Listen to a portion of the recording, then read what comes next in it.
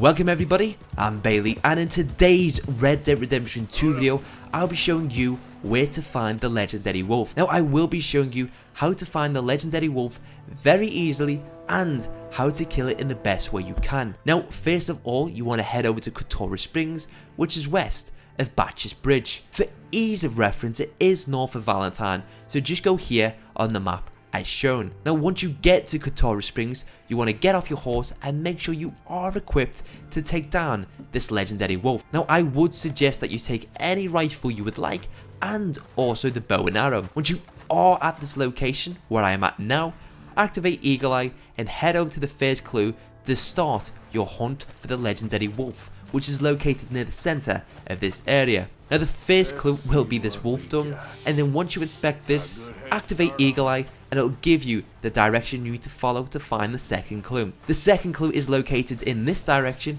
in which I'm heading to now. Now once you get here, inspect the wolf fair and once again activate Eagle Eye so you can see what direction you need to head towards now. Now the third clue is this carcass and then once again activate Eagle Eye and head into the direction of the scent. Now once you have finished inspecting this clue and you are heading into that direction of the scent, make sure you are prepared to take on the legendary wolf. Once you follow the scent, you will get to here when the legendary wolf will appear.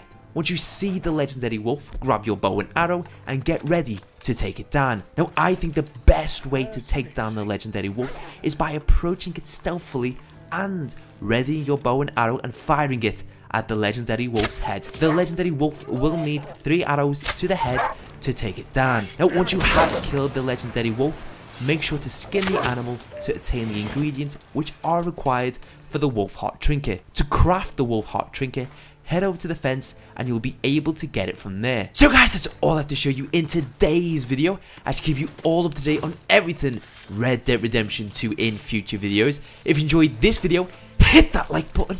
Let me know in the comment section below if this video has helped you. And if you want to see more fresh Red Dead Redemption 2 content, hit that subscribe button. And guys, thanks for watching. I love your faces and I'll see you in the next one.